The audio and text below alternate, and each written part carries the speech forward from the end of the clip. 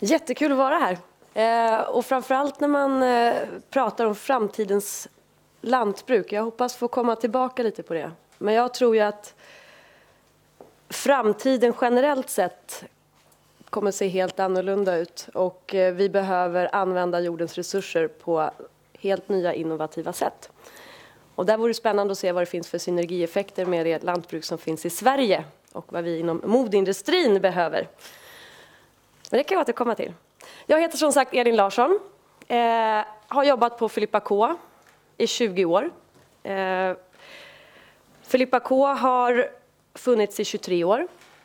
Så jag har jobbat med det mesta inom företaget. Eh, men sedan 2011 så jobbar jag med hållbarhetsfrågorna.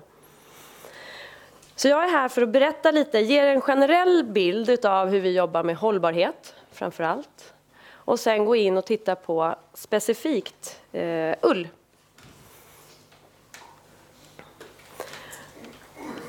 För er som inte känner till Filippa K, så väldigt kort. Eh, vi finns, eh, när jag började var vi fem personer som jobbade. Idag så är vi drygt 300 passionerade medarbetare.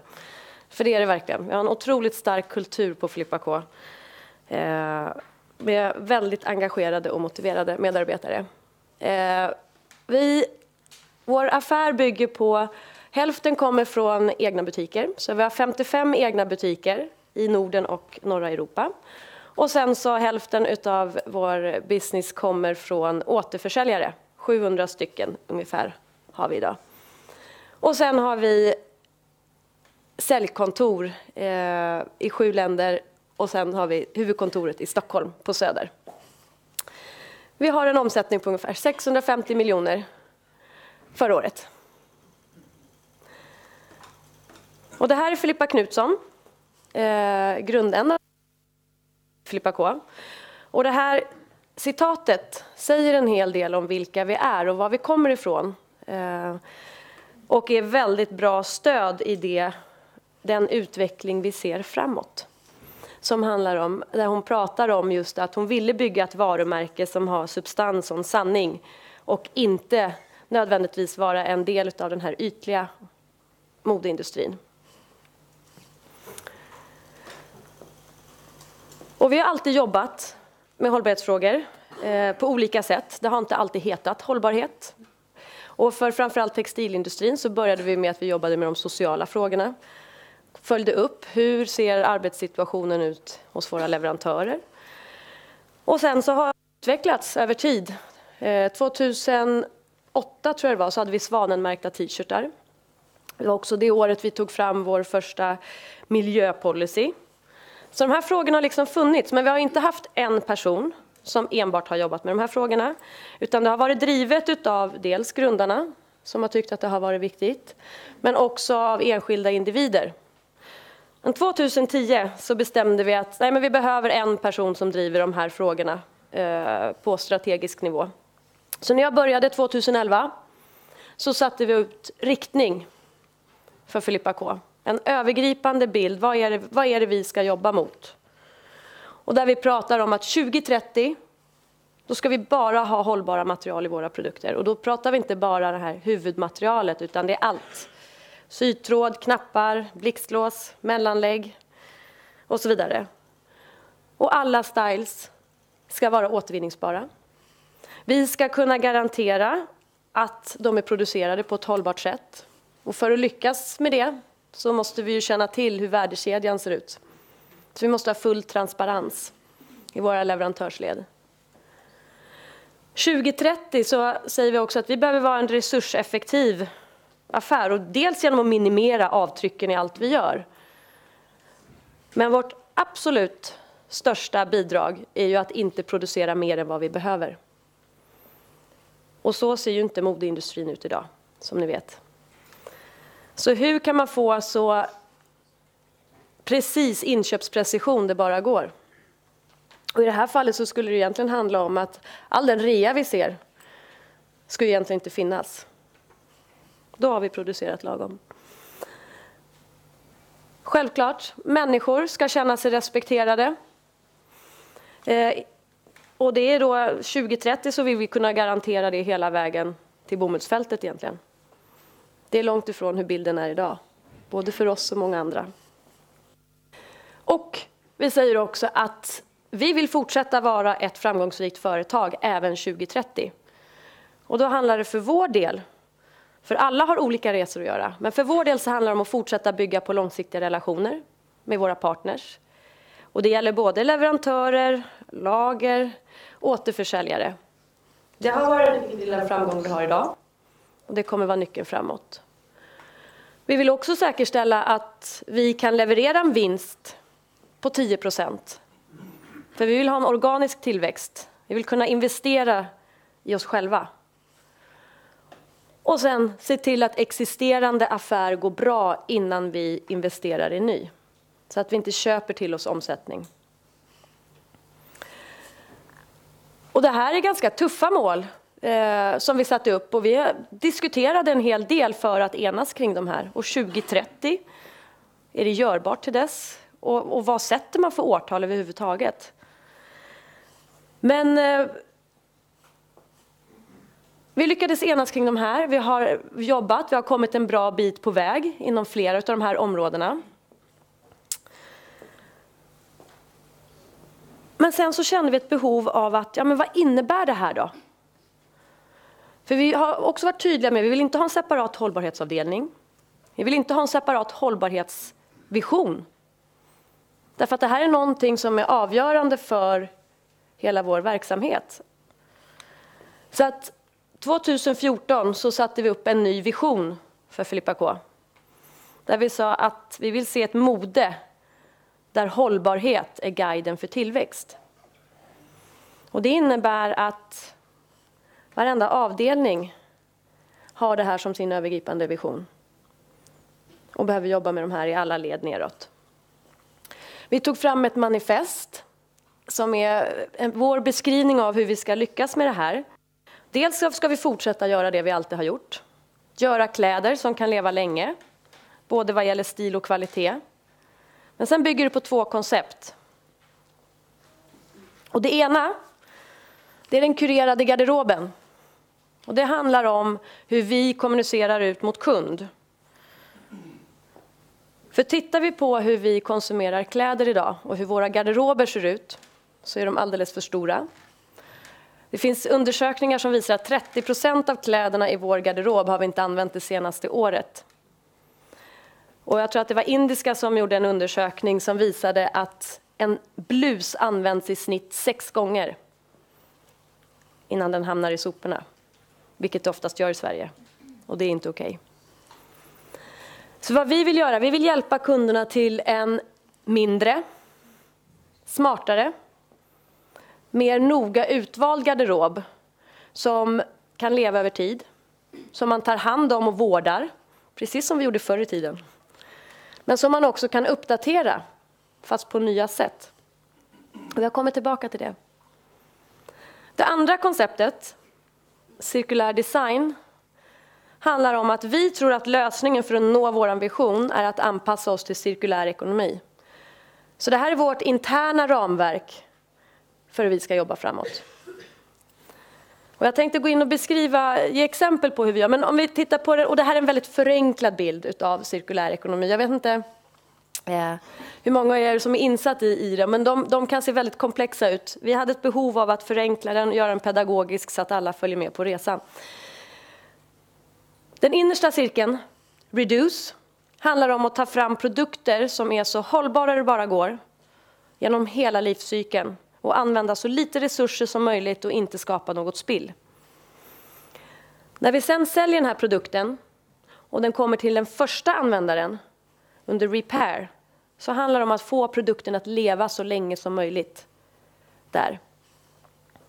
Men vi kommer med all säkerhet vilja fortsätta uppdatera oss själva även i framtiden. Det viktiga är bara att det här plagget, när man har tröttnat på det eller om man har bytt storlek, att det inte hamnar i soporna. Utan att det får leva vidare och gå in i nästa cirkel som är reuse-fasen.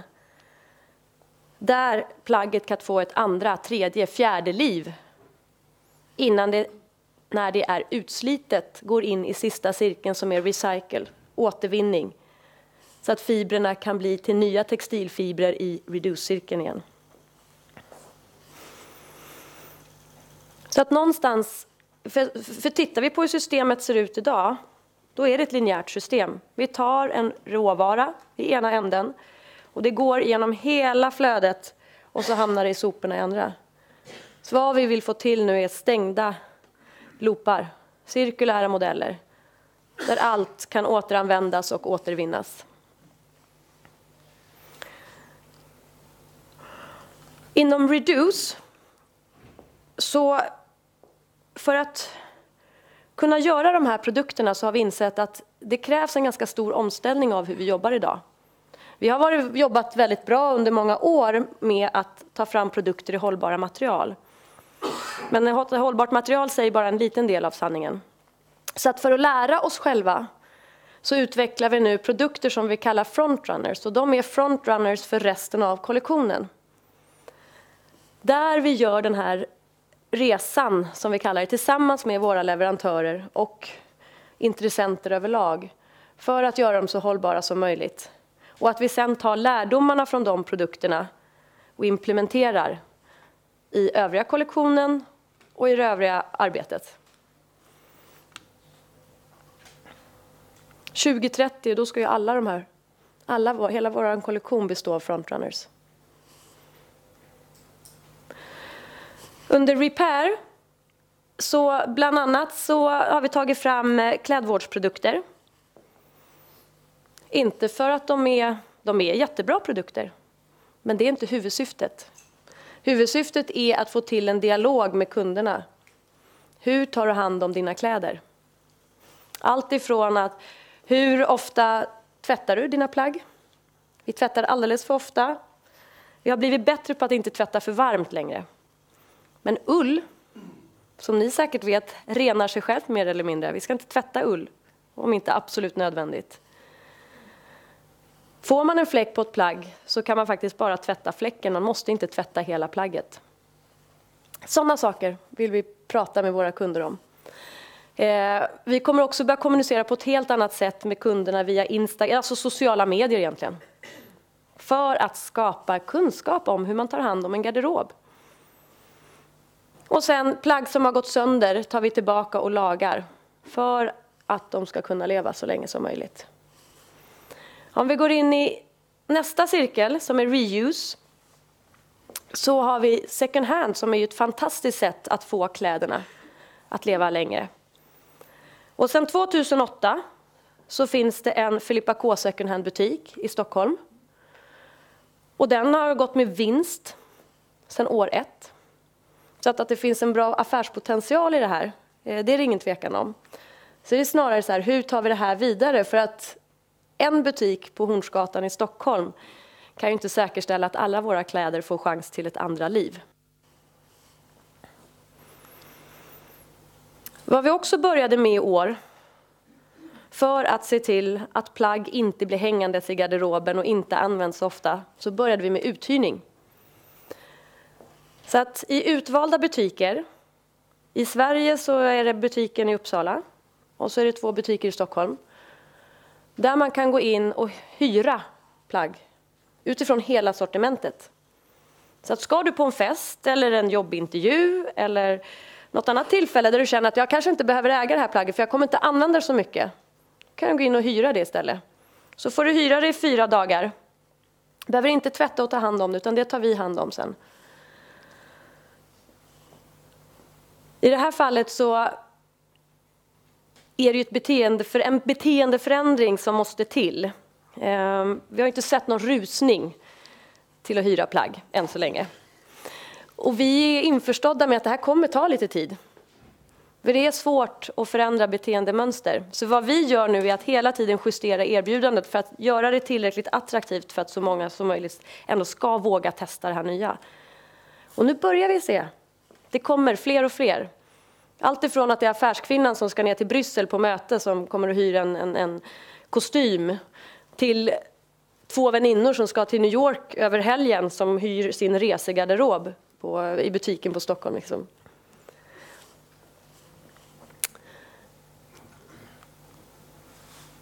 Vad vi också har gjort är att vi har startat att ta tillbaka gamla kläder, gamla Filippa K-kläder i våra butiker. Och i första hand är det för att ge dem ett längre liv. Så att det vi kan sälja som second hand, det gör vi det. Allt annat går i dagsläget till Stadsmissionen. Men i framtiden så vill vi ju kunna säkerställa att det finns återvinningsstrukturer och flöden som gör att vi faktiskt kan stoppa in dem där och så få tillbaka dem till fiber till oss själva. Men där är vi inte idag än.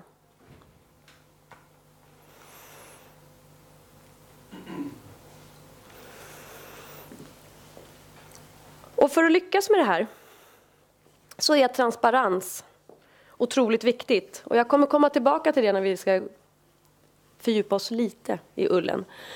Ehm, vi måste ha koll på var våra produkter kommer ifrån. Om det så är bomullsfältet eller vilken fårfarmare det är. Och det är en, det är en, vi har väldigt långa komplexa leverantörskedjor och det är en utmaning. Men det finns, ingen, det finns inget sätt att kringgå det. Och att också våga vara transparenta i den resan. Att bjuda in våra intressenter till att visa så här är det. Det här är våra utmaningar. Men det här är så vi jobbar och det är så här vi försöker bli bättre. Vad vi också gör är någonting som vi kallar för Live Lab. Eh, och det handlar om att få till eh, samarbeten, eh, tvärfunktionella samarbeten mellan forskare, studenter, det kan vara statliga organ, andra industrier, konkurrenter för att driva på frågor och utveckling tillsammans. Och det här är allt ifrån att vi håller rena fysiska workshops med människor för att driva på frågor. Men vi kommer också jobba mer och mer digitalt under nästa år och ta fram ett innovationsforum för att driva på utvecklingen. Och förhoppningsvis så kommer vi prata om ull på ett sånt live lab framöver. Men för att veta vad det är man behöver förändra, vad det är som inte står rätt till, så måste man ju mäta. För annars är det svårt. Vi, första analysen vi gjorde var på en eh, ekologisk eh, bomullst-t-shirt, en av våra bästsäljare. Um, och vi tänkte att den, den, den måste ju se, se ganska bra ut. Men eh, vi gjorde tillsammans med det naturliga steget så gjorde vi den här livscykelanalysen. Den, eh, Sustainable Life Cycle Assessment heter det. Där man gör, tittar på varje steg i kedjan och gör en övergripande hållbarhetsbedömning utifrån de fyra hållbarhetsprinciperna. Och vi fick en hel del trevliga, otrevliga och trevliga överraskningar. Den trevliga överraskningen var att vi kunde faktiskt spåra den här bomullen hela vägen till indiska bomullsfält. Och till det indiska spinneriet som var ett kollektiv som ägdes av de indiska bönderna. Det var ju jättehärligt att se. Det visste vi inte innan. Men det var också jobbigt att inse hur mycket spill det är i produktionen. Det är allt ifrån när du klipper ut mönsterdelarna, hur mycket tyg som faktiskt... Eh, nu hamnar det inte i soporna i Portugal där den här plagget sys utan det går till återvinning och blir till eh, isolering i bilar eller wettextraser till exempel. Men det är fibrer som får ett lägre värde. Vad var det mer? Vi, också en sån här sak som vi upptäckte som var jobbig, det var hur mycket vi klär på en produkt i form av att vi stoppar in ett litet papper. När vi viker plagget så stoppar vi in ett litet silkespapper emellan eh, när vi skickar det. Eh, till att vi hade en liten säkerhetsnål som fäster den här hängetiketten som sitter i plagget. Och då visar det sig att den där säkerhetsnålen innehåller lite koppar. Och koppar är en resurs, eh, är en, en, eh, råder det resursbrist på.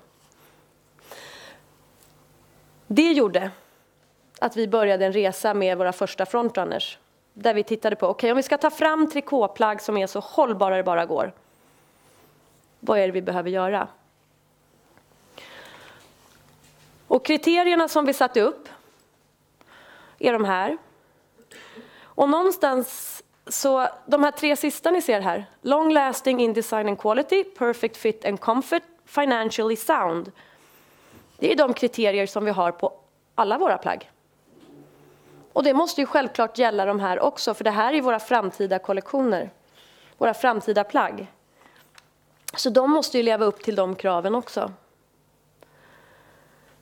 Så resultatet eh, är bland annat, utav de första frontrunnersna är den här skjortan. Eh, som då är helt återvinningsbar. Eh, vi har jobbat med istället för bomull, för ekologisk bomull är inte heller helt hundra. Vi ska egentligen fasa ut bomull helt och hållet. Så i det här fallet så har vi ett material som är tencel, som är en lyocellfiber som kommer från skogen. Eh, vi har lyocelltråd som vi har sytt med. Det är lyocellfoder till en klänning som hör till här också. Lyocellfoder i den. Det är ekologisk bomull i mellanlägget i kragen. Knapparna är av en korosonöt som är eh, ekologisk. Och allt det här gjorde då att vi, kunde åter, vi kan dessutom återvinna den. Och vi har lärt oss jättemycket på den resan. Och det lustiga är att det vi lärde oss det var inte bara hur vi ska jobba med våra trikåprodukter och hur vi kan förbättra dem, utan det var allt ifrån hur kommunicerar vi kring hållbarhet? Vi startade med uthyrning tack vare den här resan. Och vi satte den nya visionen för Filippa K tack vare den här resan. Och nästa frontrunners som vi håller på att ta upp och titta på, det är då ull produkter. Vävda ullprodukter. Och vad vi har gjort är att vi började med en... Eh, nej, jag kanske börjar här. Förlåt. Det här är ett verktyg som våra, vår design och vår inköpsavdelning eller sourcingavdelning har. Där listar vi de fiber som vi använder och så har vi kategoriserat dem från 1 till 4. Där 3 och 4 är inte är fibrer att inte föredra, utfasningsfiber. Och 1 och 2 är sådana fibrer som vi anser vara mer hållbara och 2030 så ska vi bara jobba med de fibrerna. Och vi har kommit en bra bit på väg. Men det är också mycket tack vare att ull ligger under klass 2. Så vad vi kände när vi började då och titta på och planera för nästa frontrunners så måste vi självklart då lära oss hur ser ullresan ut?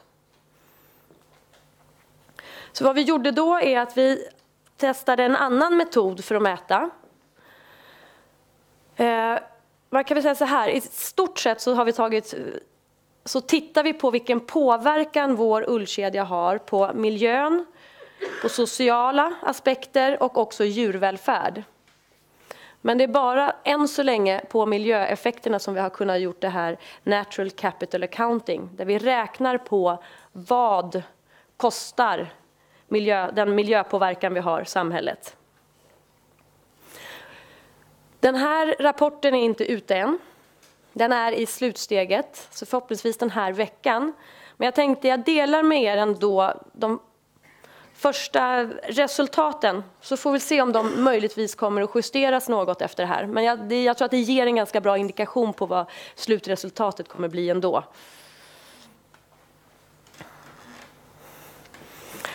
Och tittar vi då på vad vi, vi jobbar med olika typer av ull.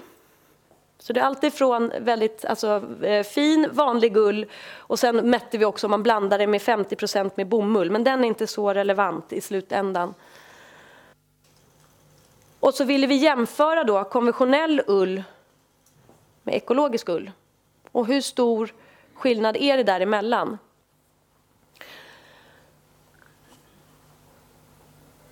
Och det man kan se på den här bilden att någonstans mellan 2,80 och 3 euro per kilo ull borde vi egentligen betala för den påverkan som vår ullkedja har. Vi kan se att det är framförallt från råmaterialet, från fårfarmen, som den största påverkan ligger. Eh, det är de röda staplarna. De blåa är spinneriet där det blir till tråd. Det är inte stor påverkan där, förutom när du tittar på bomull. Och sen är det en del under när man gör själva tyget på grund av infärgning och så vidare.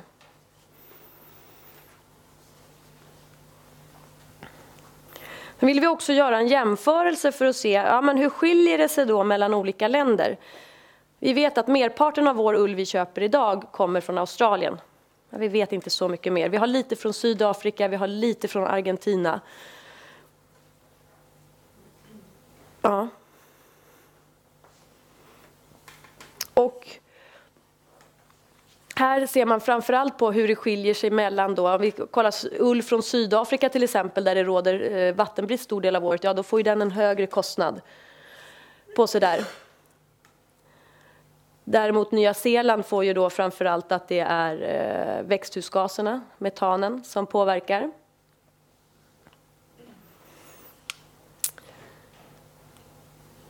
Vad vi också tittade på var landanvändningen. För att tittar man på, på ull, de stora bovarna som nämns, det är ofta växthusgaserna, det är landanvändning eh, och det är kemikalier.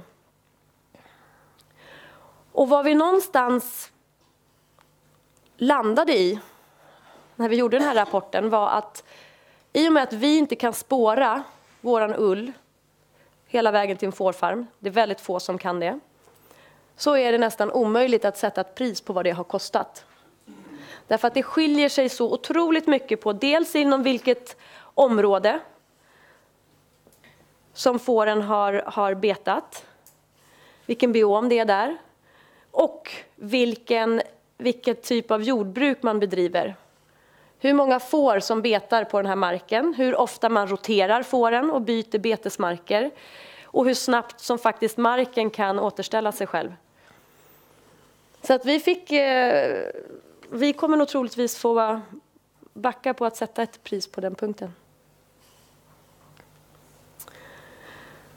När det gäller djurvälfärd så är det också svårt. När du inte vet exakt fårfarm så vet du inte exakt Eh, hur, hur, situationen ser ut där. Men däremot så kunde vi konstatera vilka är de största utmaningarna inom just djurvälfärd. Och jag kommer tillbaks till det. Men det vi försökte göra i alla fall att, att poängsätta de olika länderna utifrån vad finns det för stödmekanismer för att se till att du har bra djurskydd i respektive land. Och då kan man ju se att Nya Zeeland är ju absolut de som eh, får högst betyg. Kina sämst. Och Australien är näst bäst i det här fallet. Då. Nu hade vi inte med Sverige här. Jag kommer tillbaka till det. Det hade ju varit trevligt att ha ull från Sverige. Så ska man försöka summera det som har hänt så är det att ja, vad gäller miljöbiten så är det just växthusgaserna som är den dominanta påverkan. Eh, vi är osäkra på vilken, eh, vilken påverkan som landanvändningen har. Och det man kunde se, för det vi... Nu gick jag inte in på det, jag missade det, jag tar det nu istället. Då, att, att ekologisk ull hade bara 4% mindre påverkan totalt sett mot för konventionell ull. Och det tyckte vi kändes väldigt lite. Och mycket kan bero på att det inte finns några riktiga studier som är gjorda på ekologisk ull. Så vi får, vi får se vart det tar vägen. Men det man kunde se utav de här 4 procenten i minskningen så är det framförallt vattenminskning. Eh, jag tror det var 26 procent mindre vattenanvändning. Eh, eh, toxicitet på, på mänsk, människor och på land, eh, i eh, mark, markbindningen var det där man såg min, ja, mest eh, minskning. Och tittar man på de framförallt viktigaste djurvälfärdsfrågorna så handlar det om vilket land är det ifrån, vad är det för, eh, vad är det för typ av jordbruk som man bedriver och vad finns det för, för lagkrav i det landet. Och det är framförallt mulesing, kastrering och eh, Tack, svans. Ja. um, transport. Både, eh, både Ehm, från till slakterier men också, jag vet inte om ni har hört talas om att det sker en hel del live shipping från framförallt Australien per bå på båt till, eh, till eh, Östasien. Och sen är det, är det rakskador. Och vad gäller de sociala frågorna så är det framför allt att man får kemikalier på sig vid sådana här sheep dips. Och, och likadant sådana eh, um, sjukdomar som överförs från fåren som är zoonosis. Och sen likväl att människor skadar sig när man rakar fåren.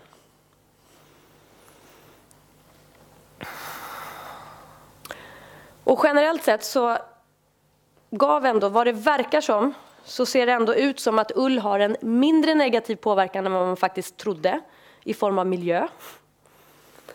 Eh, vi behöver ha bättre data för ekologiska metoder. Och sen framför allt bättre eh, metoder också för att säkerställa djurskydd. Och när man läser den här rapporten och tänker på vad är det som gör att vi, vi, vi hittar sådana här saker. Vad är det som gör att fåren blir skadade under rakningen? Vad är det som gör att får, får delar bortskurna utan bedövning? Och vad allting kommer ner till så handlar det om priset. Vad är vi villiga att betala för ull?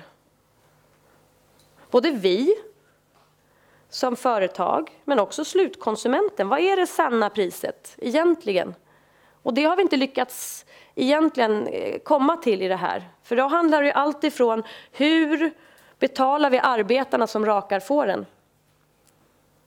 Om de får betalt i den vikt som de levererar och inte per timme så det är klart att de gör, tar genvägar för att tjäna mer pengar. Och det finns... Så att... Ja. Det är en viktig fråga. Om vi tittar framåt då. Tanken är att den här rapporten som vi har tagit fram nu ska leda till en, en hållbar sourcingstrategi för hur vi ska köpa ull. Responsible Wool Standard, har ni hört talas om den?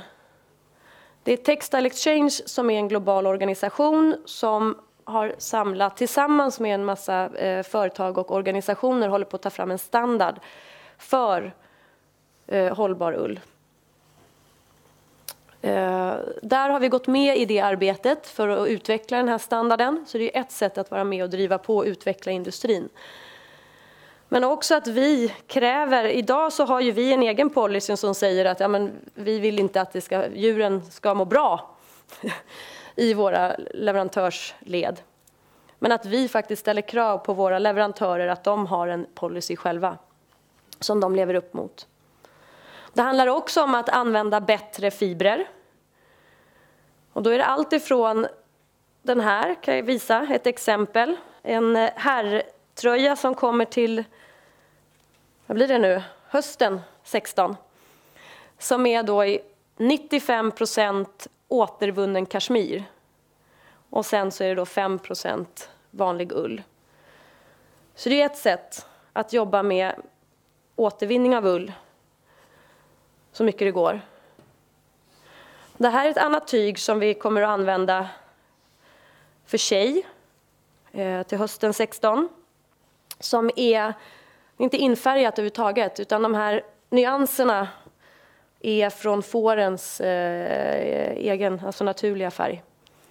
Så att, att jobba då med, och i det här fallet så kan vi faktiskt eh, spåra ullen tillbaks till fårfarm som också är en viktig, viktig del.